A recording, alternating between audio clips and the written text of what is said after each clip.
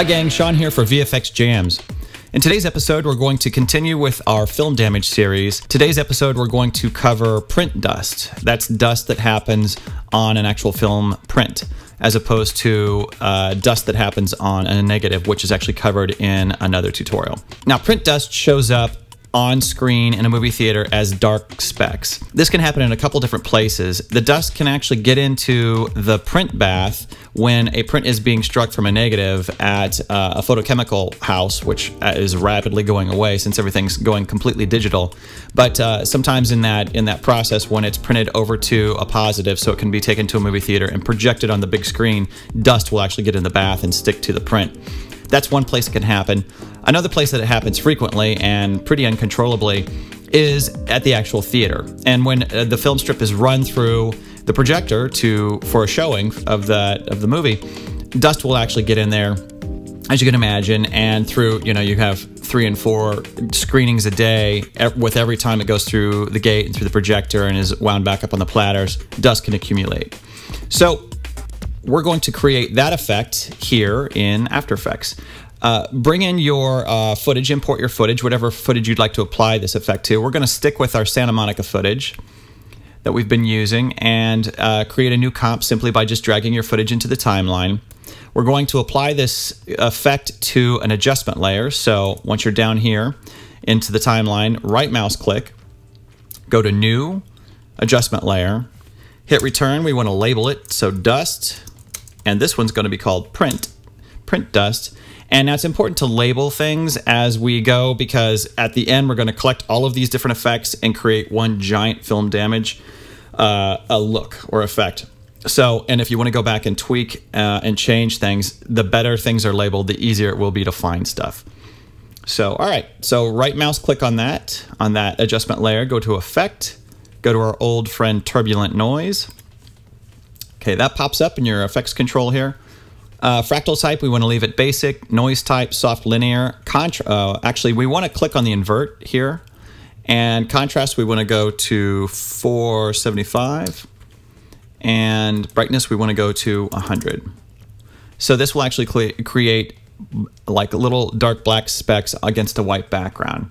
Now, in this one, we're going to, we're going to change the scale ever so slightly. So go into transform here scale, and we want to make that 75 so those specks become just a little bit smaller.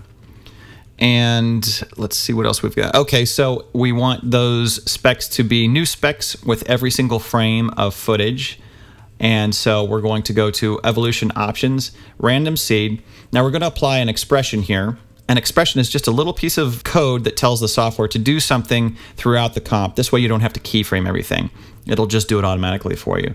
So if you're on a Mac, hold down your Option key, click the little time, uh, the little stopwatch here, and then it will become active down here, and you can write your little expression here. Now we're going to use the one we've been using, time times, which is the asterisk, 24.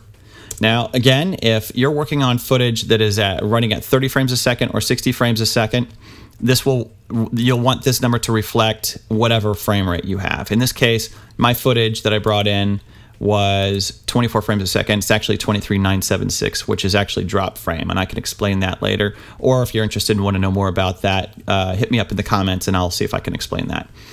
Uh, but for the sake of uh, for our experiment here, we're just going to leave it at 24 just to make things simple. Keep it a round number.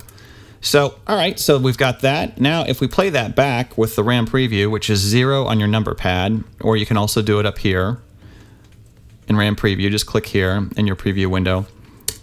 We should have unique frames for every single frame of dust. So there you go, and that sound is actually the audio from the clip. We'll turn it off.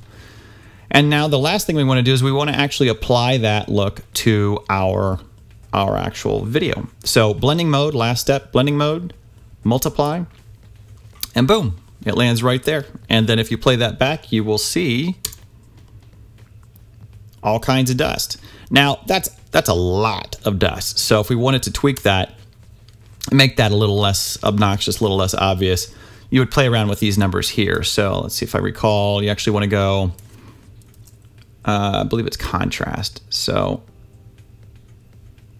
if we lower our contrast and also our brightness, go up with the brightness, that'll make that'll give us fewer specks. So you'll play around with the contrast and brightness just to uh, you know find just the right balance. That might still be a little little too much, but uh, generally you get the idea. So if you want to um, create more or less there, and then again, if you want to actually change the scale, if that dust looks too big to you for your project, you would change the scale or the size of it using the scale feature here in Transform. So uh, you know, you'd take that down to 50 to make them a little smaller, right? Hypothetically, anyway, or you'd crank it up and they'd get much larger. There you go. Now you can see that. So, but uh, for this piece of footage, we went with 75.